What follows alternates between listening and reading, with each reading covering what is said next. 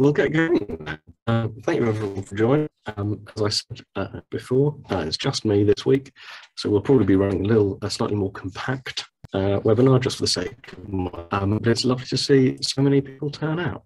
Um, um, you may know, uh, my name is Matt. I um, look after our research team here at Uni and so that means that my job to make sure that everything that we put forward um, and our products broadly are evidence, um, that it's all backed up in and that we can uh, really demonstrate the stuff we're recommending you do in terms of university work really, does.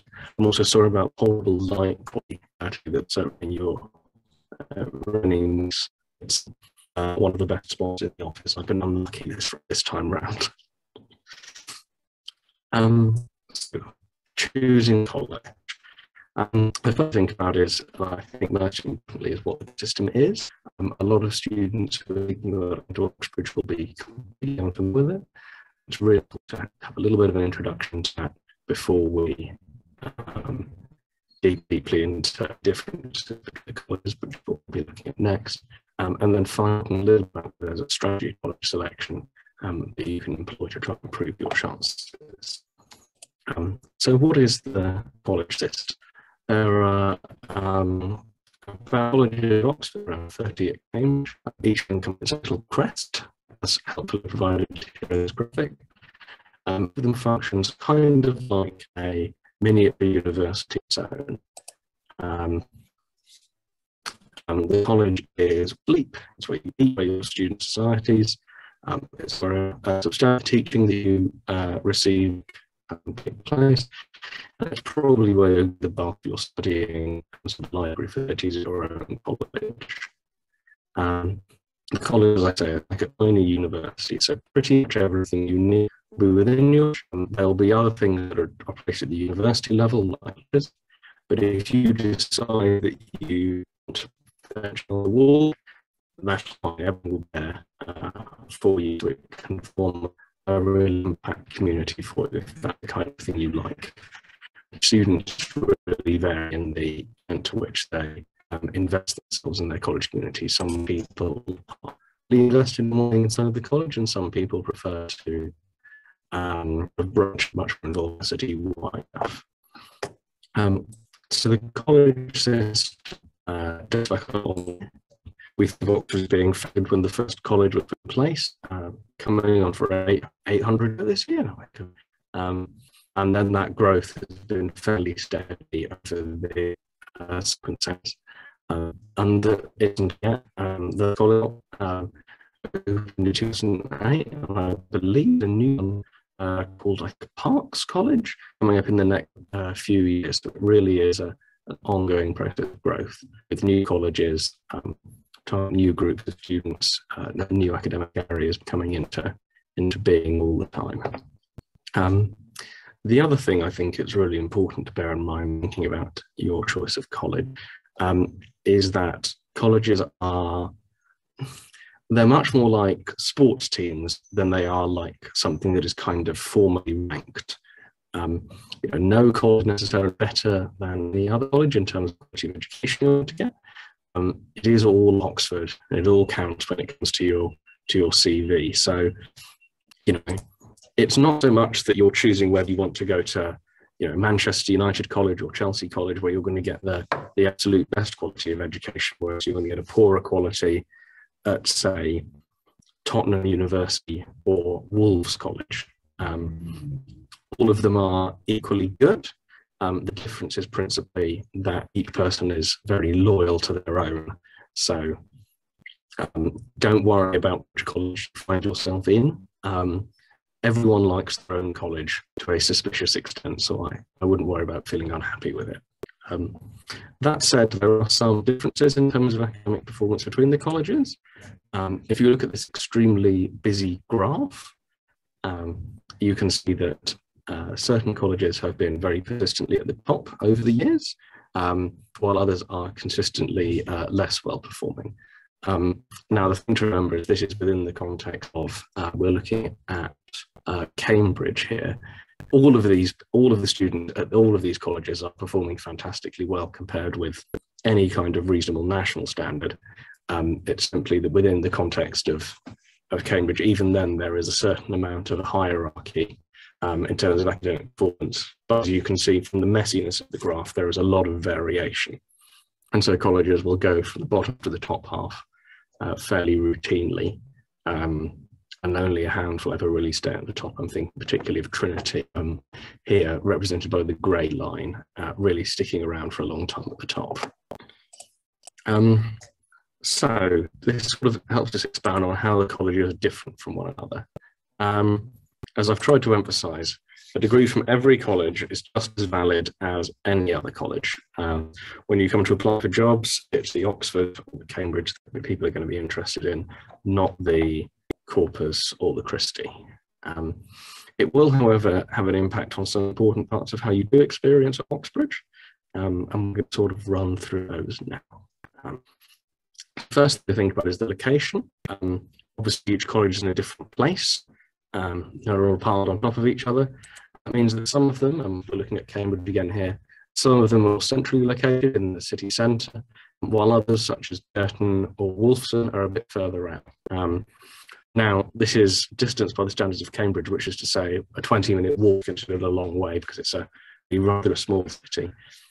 Um, and no more than 20, uh, 20 minutes on a bicycle. So it really is a, a, a very small relative distance that we're talking about here. But if you're really keen to be right in the middle of things, to have a, a five minute walk home from the night or the kebab van, then it may be more centrally located college like uh, Caius or King's is better for you. Whereas if you're not far out that thing, you might enjoy the, um, peace and quiet you get in Wolfson or Girton, being a little bit further away from the city centre. Um, obviously, one of the things you're going to be doing while you're at your college is uh, being a. Um, most colleges will have uh, room for students throughout their degree, um, and all will definitely have them for your first year.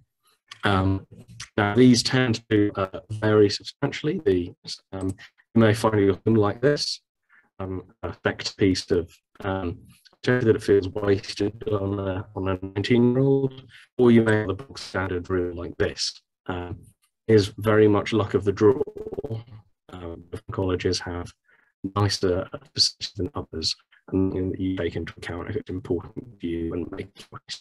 Um, so very keen to have the Hogwarts experience, whereas other people would rather have a non-dark from for, um, as you can imagine, the less handsome room tend to be newer, tend to be better insulated, and tend to have uh, more up to kit. So if that's important to you, that's uh, an important consideration.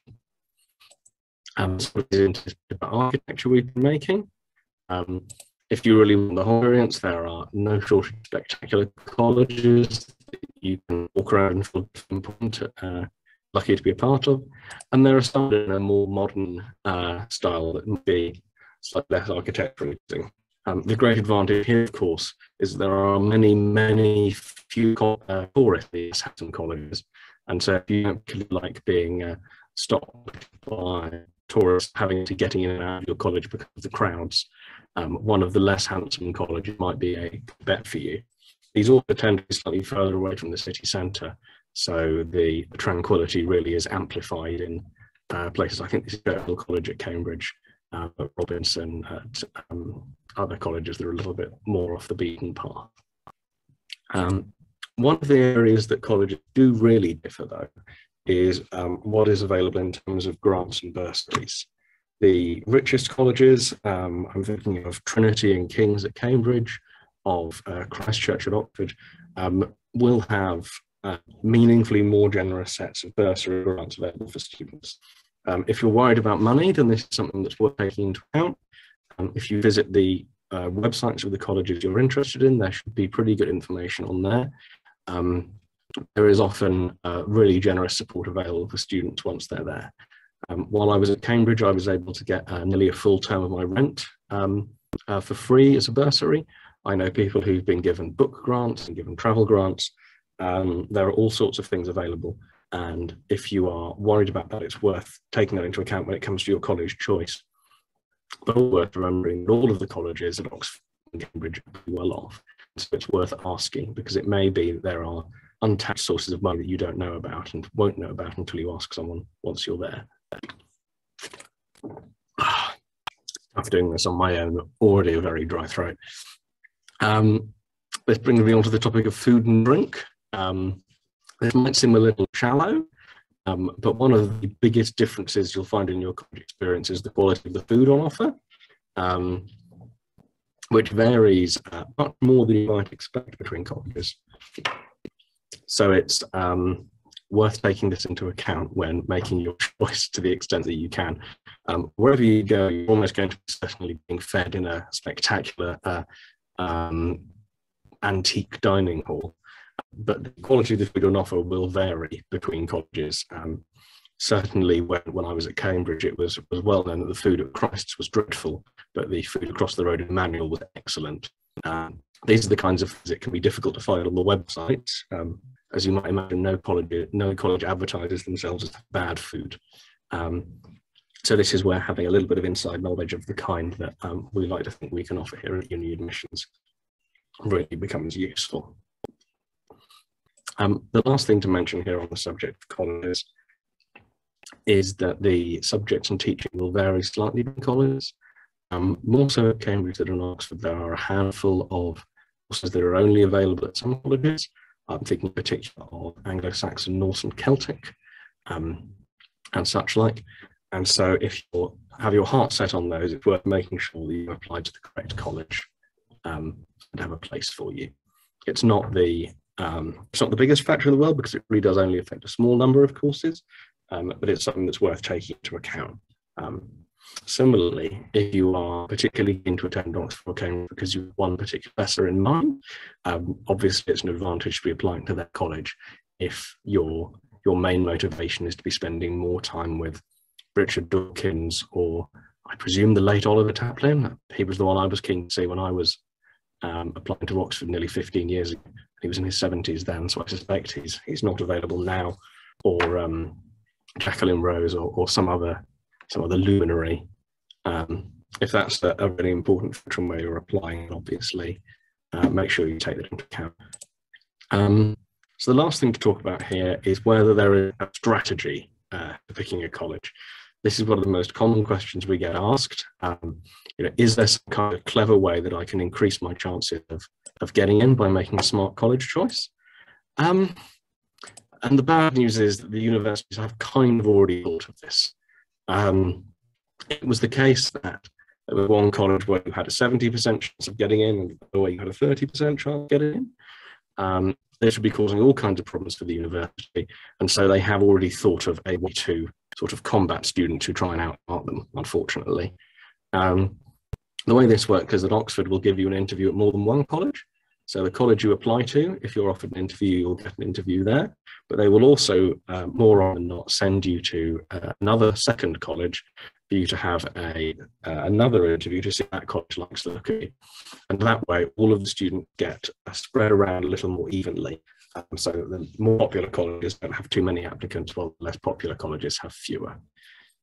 Cambridge does a similar thing where um, all of the students are uh, scored and rated in their interview, and those who are near misses at their first choice of college um, will be put into what's called the winter pool for colleges that have more spaces available to fish uh, additional uh, students out. And this basically means that whichever college you apply to, you, your of getting in are very, very similar. Um, regardless of where you initially apply. Um, and just to look at that uh, graphically here with the information from Oxford, um, you can see that um, uh, while only around 13% of students are um, who, who, make their first choice Christ Church are accepted, uh, whereas 20, um, you'll see that the number of students being imported, so brought in from another college, is much higher.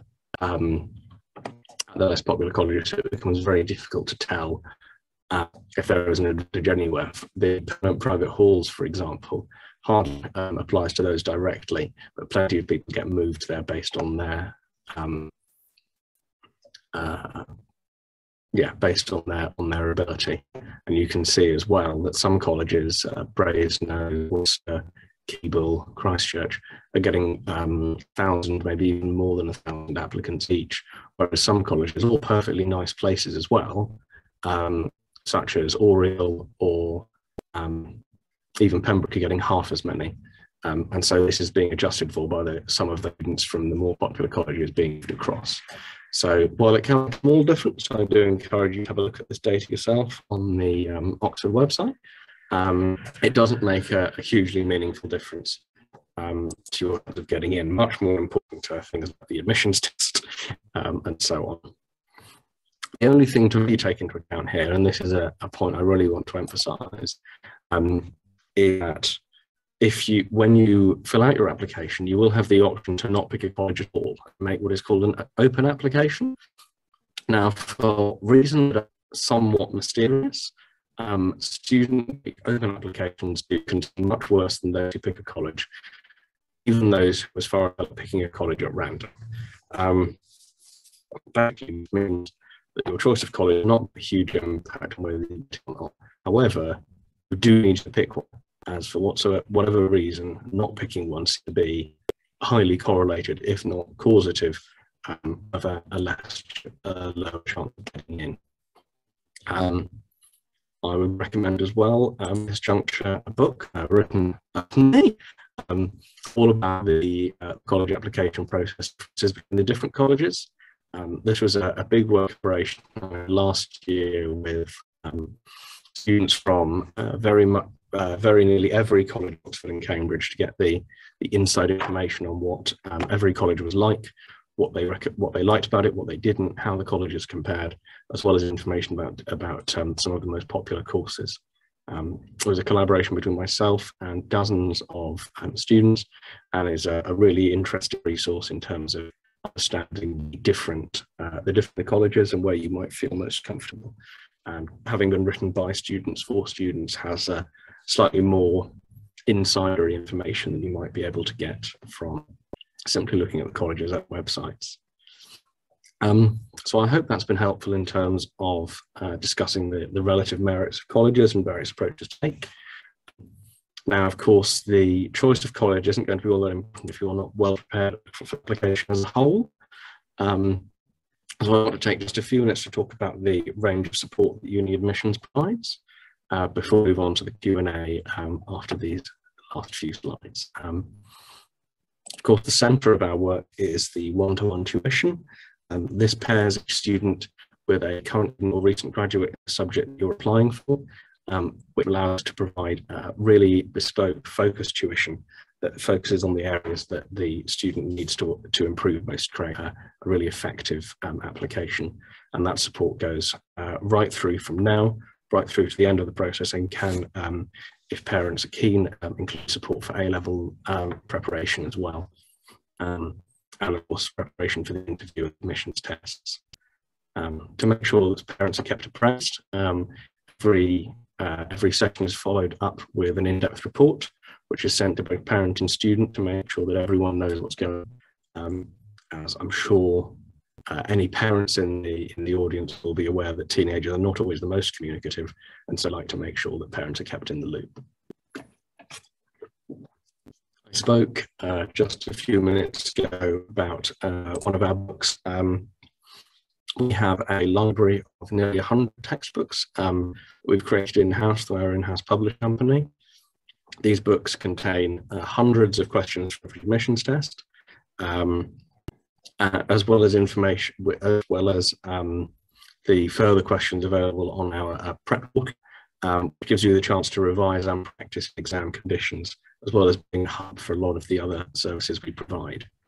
Um, the prep portal contains not just um, uh, copies of books, but online courses, um, access to the notes for the uh, enrichment seminars, which we're about to speak about, uh, links to join the um, supportive WhatsApp groups, and other um, other things to help you really get the most out of your program. Um, the enrichment seminars, as mentioned, uh, I believe are happening in uh, 20, 23 hours um, uh, in the same time slot as me, but on a Sunday, are uh, weekly seminars that go into university topics in the kind of depth that is going to really help you prepare for the interview. Um, they're hosted by current students and recent graduates, and they work through university level topics, uh, giving you the chance to practice the kinds of um, uh, styles of discussion, styles of uh, question, and styles of thinking that you're going to need in an interview, as well as helping you to understand much more about your, your chosen subject area, which you can bring to bear on your reading and interpersonal statement. Um, they're a really fun, holistic tool and something that I occasionally put my head in on whenever a, topic that particularly interests me is coming up to find out what, uh, well, to find out new things, basically. Um, and the, the feedback of uh, we've had around these uh, newer programs has been really good. Um, coming up uh, more immediately, we have our day courses. Um, these are running over the next uh, few weeks for students on our programs, and these are um, in-depth um, sort of deep dives into the content of various topics, whether that's personal statement, whether it's college choice, whether it's the admissions test or the interview. Um, full day, full weekend courses, uh, giving you the chance to really put your revision into practice in an intense way, um, and the chance to meet some of the other students who are, who are working alongside you and build a little bit of a sense of camaraderie. Um, I always really enjoy doing these, whether they're face to face or online, as it's so nice to finally put faces to all the names uh, of the students we're working with, which makes it one of my favourite parts of the of the process. Um, we're really proud that the uh, result of all of this work is uh, last year um, our students were able to uh, receive offers from um, Oxford and Cambridge at three times the national average with more than half of the students were receiving offers, which we're really delighted about. A record we're hoping to uh, to maintain going into this year, um, even as the uh, whole business becomes more and more competitive. Um, but we don't shy away from a challenge. So, um, and that record compares uh, really well with um, top schools in the country sending, you know, 100 applicants um, and charging substantially more than we do, the Etons and the Westminsters of this world. Um, we're not as nice from an architecture standpoint, um, but we are, uh, I, I, like to think, much uh, much friendlier um, and less, uh, a little less elite than some of these institutions. Certainly the outfits are uh, less strange than the, the ones that they, they go for at Eton. Um, sort of coming to the to the end of these before we go into the Q&A. Um, if you've enjoyed this webinar, if you have uh, sampled our services and found them to be good, if you've enjoyed our books you'd like to send me a nice message, please do uh, take a look at Trustpilot. Um, we'll give you a chance to read the reviews we've had, uh, to contribute your own, and to um, give us feedback on what we can do more of and better as we're always trying to iterate and improve the uh, success of the company. And the final note I wanted to touch on um, was that um, if you have listened to this presentation, if you found it interesting, if you are keen to work with us, but you are worried about cost, um, please do not let that stop you from getting in touch. Um, last year, we worked with nearly 100 students on a reduced fee and free basis. Our target is to work with 250 students on that same basis this year, and we still have plenty of students to come and work with us um, on a reduced fee and free basis. Our target is that next year, for every student who comes to us at the full rate, we will be we will have a, a subsidised student alongside them, um, and we can't achieve that if students are frightened off from applying. So if you're in any doubt, please get in touch in any case, as we will almost certainly be able to help. And so that brings us to the uh, Q&A. Um, I should have time for um, half a dozen or so questions before my voice gives out. Um, so um, please drop those into the Q&A section of the uh, software that we're using. Um, and if you have um, any questions that are a little um, a little more sophisticated, um, a little more personal, um, please um, uh, book a consultation with us so that we can go through your circumstances in a bit of detail.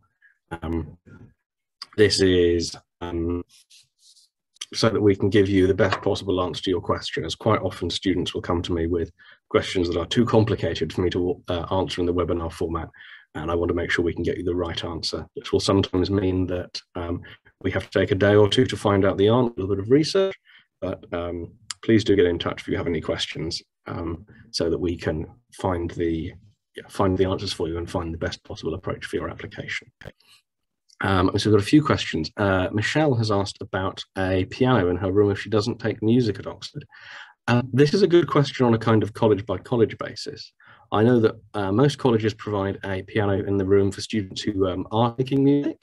So yes, would be the limiting factor would be the piano. Um, so what I would suggest is um, inquiring with college uh, to but it will also be a number of students perhaps who are studying just whether there is one spare. Um, you might also be advised to befriend uh, someone who who is studying music. Um, but I, I don't know. Certainly, that's what take up the colleges and is a good example of kinds of little nuances that you you might be interested in. Um, I certainly hope they do have one available for you, Michelle, because that would be very nice. Um, uh, also, we'll looking from the side of the uh, the colleges uh, own works. Um, often the union or uh, JCR, as it's normally called, the junior college, college will have its own website. A really place to look because this will be content that's produced by students. Um, a lot about the, the college, so I recommend looking at those. Um, some of them will have on unofficial prospectus, into the information about student life is actually like, and that valuable resource for figuring out college might be a good match for you. Um, so that's what I'd recommend looking at the, the JCR website. So if you just type in college name JCR, it should pop up fairly soon on Google. Um, please do drop in any other questions you have. So far, it's just these three. Um, and while I'm very merciful on my voice, um, I have, more, I have plenty of, uh, plenty of time to answer a few more. Um, Gemma asks, um, for engineering, what is more important to write about in my personal statement, reading or going into more depth about work experience? So this is an interesting one. I think um, you want to show your, your, your best strength. So if you think that work experience you've done is more interesting, um, that better shows your, um, your abilities, it's worth having uh, focusing on that. So if the work experience you did was really interesting, is going to bring to bear a lot of ideas, um, it's something that you reflected upon, then I would I would definitely put an emphasis on that. Um, and this is where engineering differs a little bit from a, readier subject like uh, history or or English, um, where your sort of mathematical ability is going to be more relevant. So I would be putting a, a real emphasis on the work experience if you think it's sufficiently interesting to bear it, if the ideas you have about it are interesting. Um, but if the if the work experience wasn't uh, you know, if the work experience wasn't inspiring for you, then you want to be emphasizing the things that were the most inspiring, if that makes sense. Uh, Michelle asks about grants and bursaries. Um, so this is one where it's good to look at each of the website, the college websites in turn. But as a general rule, it will be the richest colleges that have the most money to uh, to spend on these. Um, these will tend to be the oldest colleges. Um, so I'm thinking at Oxford, um, the richest college is probably Christ Church. You'd then be looking at, um, at Worcester, at Magdalen, um, Oriel. But again, this is one where it's worth having a sort of a poke around on a case by case basis um, to see which ones have the, the best options for you. But I know I know if Will was here, he's um, frustratingly on holiday today. Um, he would be telling us all about the virtues of Christ Church because they are a very well off college and do have some very uh, some very generous things uh, available there. So that's a, a strong option. Uh, and Rajitha asked about medicine and work experience. Um, so obviously it has been very difficult to get work experience in medicine over the past two years uh, because of the horrible virus. Um, this has been for everyone. So if um, if students, if all students have had difficulty getting working, then it does uh, it does even the playing field a little bit there. What I would say is, um, that's marvelous, going to be held against you uh, because of the, the situation with the virus. But what I would suggest is really to um, take a broad sense of what work experience could be. Um, work experience in medicine doesn't just need to be working at a hospital or helping out a family doctor. It could be something as simple as you know standing in a fluorescent ja jacket, helping people get their vaccines. It could be working in a care home. It's a really broad spectrum of things count. Um, as medicine, the important thing is the extent to which the work experience makes you reflect on why you want to be a doctor, um, not necessarily whether it provides you with important practice of being a doctor. Um, aged 17, 18, you're not going to be allowed to practice being a doctor. But what you need to so what you need to find out is whether you really do want to be one.